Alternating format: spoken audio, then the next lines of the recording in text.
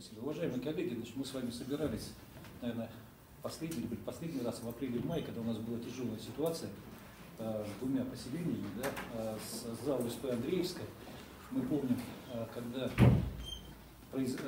инвестор стал уходить просто с нашей территории, особо не предупредив никого, ну, вот, решив закрыть предприятие, у нас два поселения остались без градообразующих предприятий.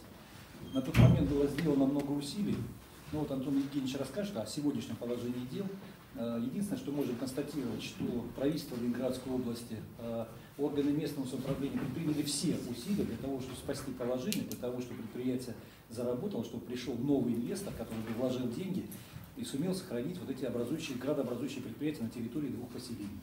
Э, сегодня предприятия работают, хорошо или плохо, мы опять же узнаем из доклада, но тем не менее люди сохранены, работают. Значит, особая благодарность э, Малащенко Олег Михайловичу, заместителю председателя правительства, который принял личное участие. Недавно было совещание, опять же, где мы принимали участие, Антон Евгеньевич, я принимал участие. Принимал участие инвестор Лукашов, как его отчество? Виталий Викторович. Виталий Викторович, да, с которым мы встретились, который а, поделился своими опасениями дальнейшими, ну и по, по экономической ситуации. На сегодняшний день, может, не самый выгодный бизнес получается, но, тем не менее, а, дал гарантии, что работать будет. Просто ситуация, ну, действительно, она э, сложилась непростая, кормов было не, ну, скажем так, заготовлено на совершенно минимум. Есть понимание сейчас у предприятия, где эти корма взять э, и по, не по той цене, по которой предлагали сначала, там огромные дыры вырисовывались в бюджете и финансировании. Сейчас это понимание есть. Есть понимание, и насколько я знаю, подписаны договоры лизинговые уже на приобретение техники необходимой. Самое сложное, я так понимаю, для предприятия, это будет э, этот 19 точнее зима вот 19 -го года, да, до того, как, как, как до того момента, как начнет трава расти. Поэтому, вот, собственно говоря, вроде как люди работают, желание есть, поэтому сейчас ситуация нормализовалась, сейчас э, все процессы вроде, э, скажем так, с положительной динамикой, вот, в правильном направлении, поэтому я думаю, что потихоньку-потихоньку мы это дело э, нормализуем. Значит, и хотел поблагодарить прокуратуру в лице э, Волынского Михаила э, Васильевича, к сожалению, его сейчас нет, который взял под личный контроль ситуацию по поводу незаконных увольнений, э, по поводу там, перемещения скота и прочее, прочее, да, и не допустив какие-то там ну, незаконные действия со стороны бывшего владельца этого предприятия. Поэтому на сегодняшний день все работает. Значит, в поселениях сейчас обстановка более-менее спокойна. Мы встречались еще раз, мы несколько раз выезжали, особенно в Шибозеро. Это касалось, потому что если Мерегешская горка здесь находится ближе к городу, трудоустройство людей возможно, то Шибозеро у нас все-таки достаточно серьезное расстояние, и поэтому были опасения. Но обстановка сегодня стабилизировалась.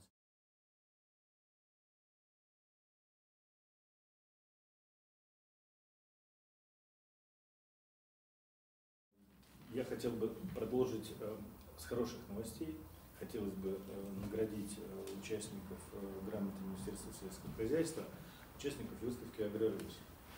Александр Ильич, я прошу вас вручать, а я говорить. Значит, награждается диплом за участие в выставке «Крестьянское фермерское хозяйство «Власов». Вы представитель? Представитель. Угу. Да. Ну, тогда это действительно достойно награда. Спасибо вам большое. Просто молодцы. Как держать? Спасибо. Будем стараться. Дальше мы будем об этом говорить. У нас э, заработало предприятие Водолагидзе и достаточно активное участие тоже приняло в выставке. Э, всех вообще впечатляла э, разноцветная витрина с лимонадами и большое количество ящиков там. И мы могли, значит, где-то стоять, да? Да, где-то Есть представители Водолагидзе? Нет, да, не пришли. Тогда мы тогда обязательно вручим. Оставляем так, вручим. Естественно, культура агро, без которой никак. Просто молодцы, мы уже не первый раз говорим о том, что вы просто молодцы. Это целая витрина. Да, это целая витрина, это прекрасная продукция. Так держать. Фермерское хозяйство Фомичева. Тоже нету. Нет представителя, да? Хорошо, оставляем. Оставляем. Баркасов, фермерское хозяйство. Он отпросился, был. Я тоже его видел. Да, да. да, срочно вызвали. Ну хорошо. Вот это. И Тихвинский хлебокомбинат.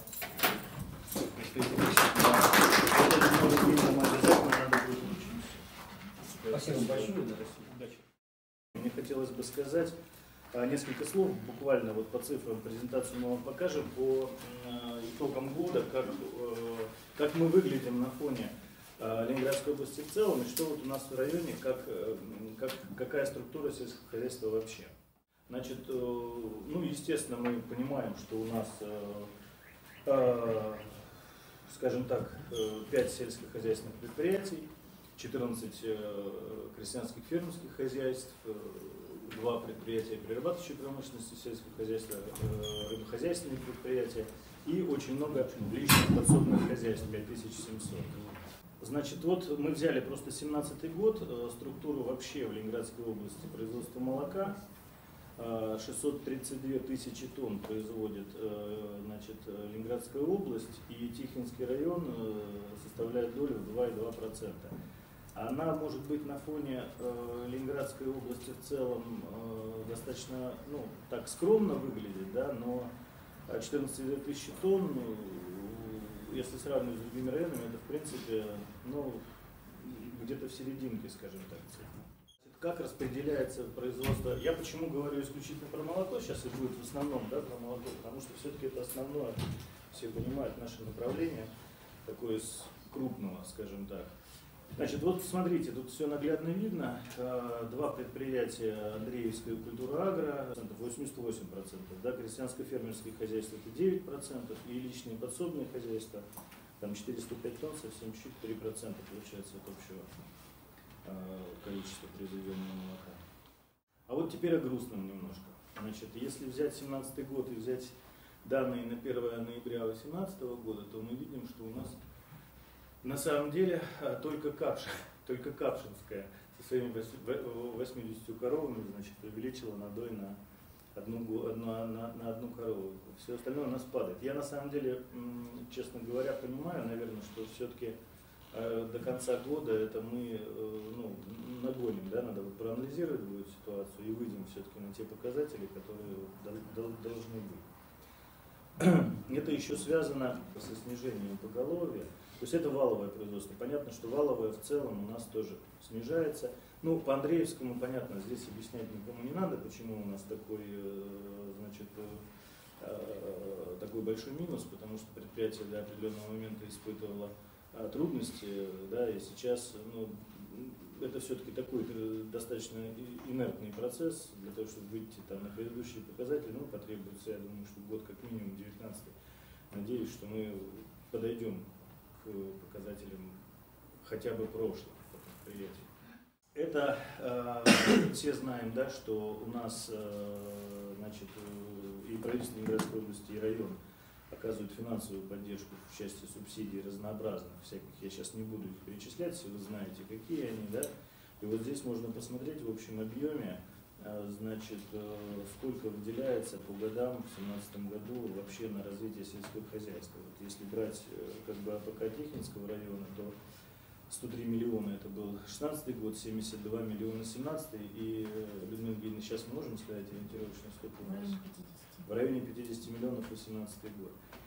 То есть э, тут тоже надо задуматься, потому что финансирование есть в области, непонятно, то ли мы не берем, э, вот, то ли нам не дают. Надо в этой ситуации разобраться, почему не дают и почему не берем. И все-таки в 2019 году попробовать выйти на какой-то нормальный уровень. Это что касается нашей программы, да, у нас, э, к сожалению, не очень большие цифры предусмотрены, но, как говорится, чем, чем, чем богаты. Вот, э, это вот видно факт, который в 2018 году у нас это 3,5 миллиона комбикорма, 1,2 инвестиционная деятельность, э, 0,2 миллиона это ярмарки и поддержка КФХ 0,1 миллион. А Планируем на 2019 год мы в абсолюте сумму точно такую же, просто решили немножко увеличить э, на инвестиционную деятельность э, значит, э, субсидии. Точно так же у нас работают три крупных предприятия по производству форели товарной, там малек, форель, икра. И вот здесь, конечно, у нас впечатляющие результаты. Значит, мы 8% объема в Ленинградской области э, значит, э, поставляем, ну, производим точнее.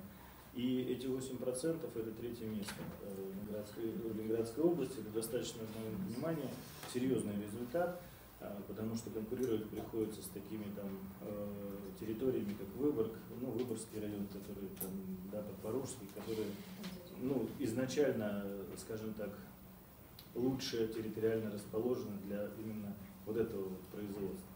Это вот наши крестьянско-фермерские хозяйства, это вот построена э, новая теплица зимняя, это и курицы, достаточно большое количество несушек. Это мед, это вот именно фермерские хозяйства, это сыры, э, вот, картофель, у нас есть клубника, там картофель и так далее, будет развиваться В целом, э, я думаю, что до конца года мы сравняемся все-таки с показателями 17 по 18 но при этом мы все понимаем, что есть тенденция к снижению поголовья. Вот э, как-то нужно эту ситуацию переломить.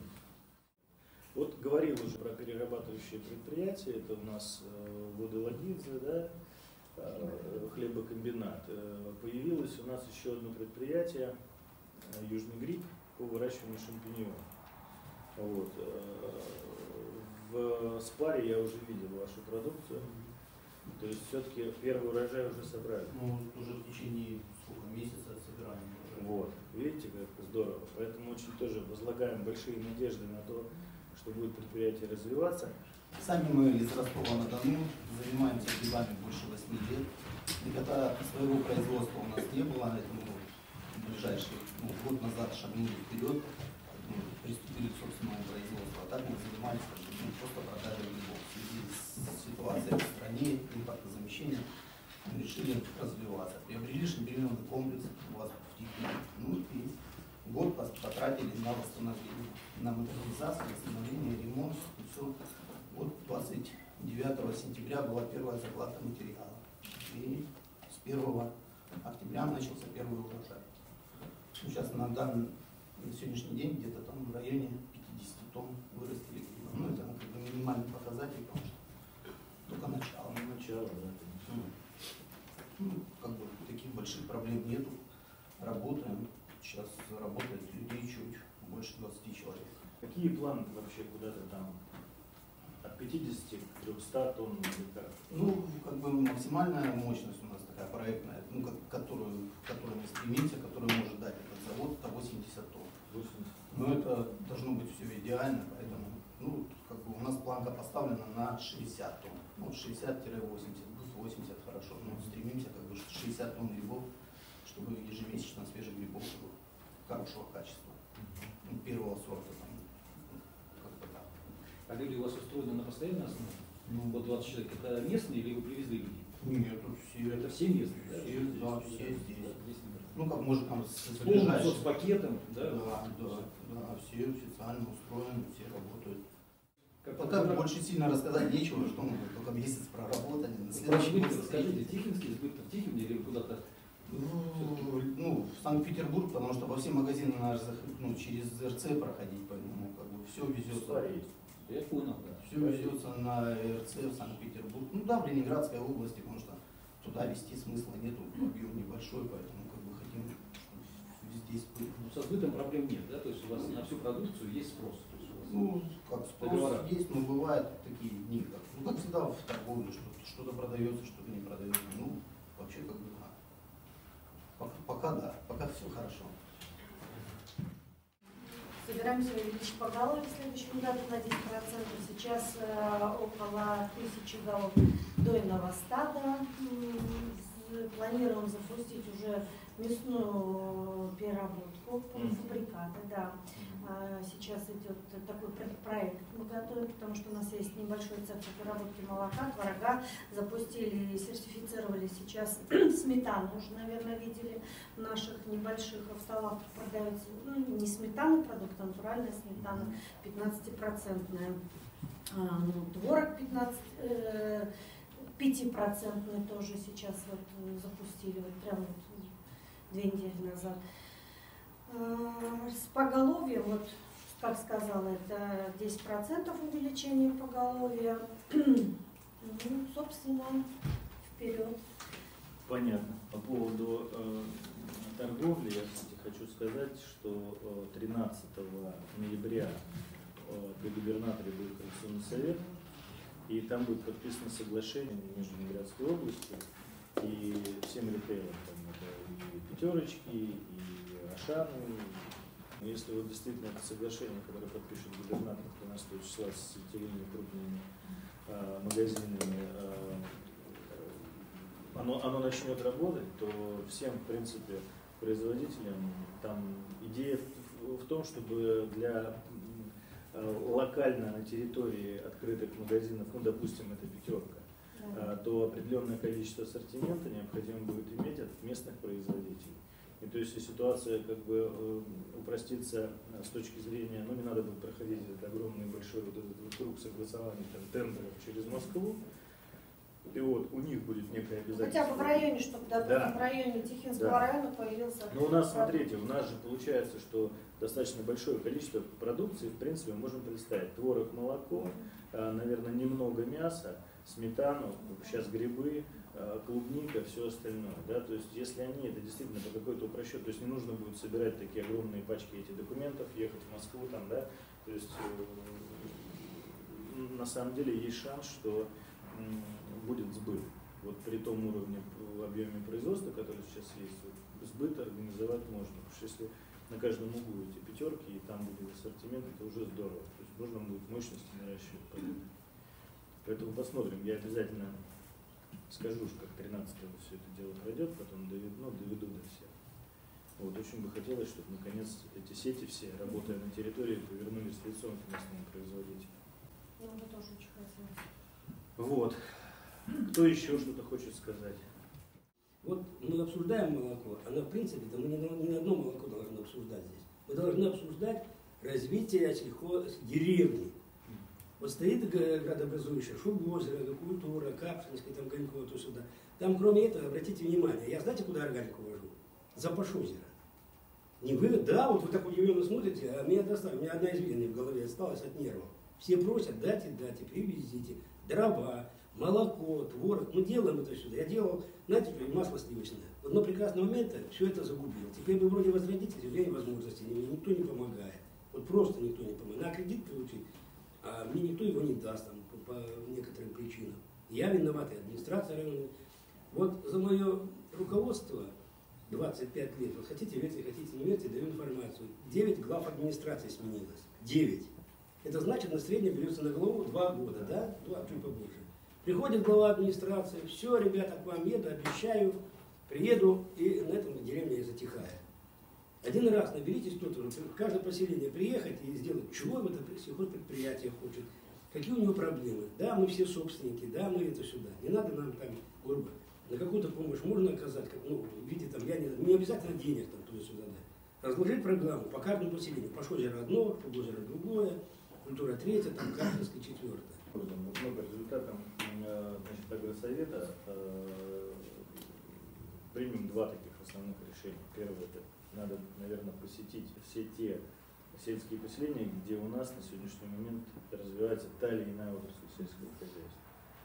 Ну, вот, э, значит, пообщавшись там, я думаю, что на, э, на основании э, значит, встреч этих а нужно э, будет действительно разработать какой-то план действий. Я не хочу сказать, что это будет там решено завтра, да, все проблемы сельского хозяйства в районе и в стране, да, но, по крайней мере, какой-то, наверное, план действительно надо разработать и, и- и понимать, что у кого-то там поддержка вот на эти вещи, да, у кого-то там на переработку, у кого-то э, со сбытом и так далее.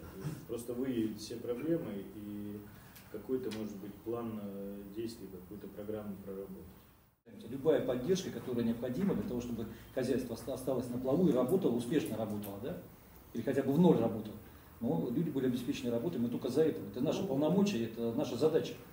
На самом деле. Все принимается. Я думаю, что Антон Евгеньевич Да, я, абсолютно я поддерживает. же говорю, всем говорю, не только Александру Павловичу, да, что я готов в эту работу включиться. э, Ну, действительно, вот такой вот обратной связи ее мало. да.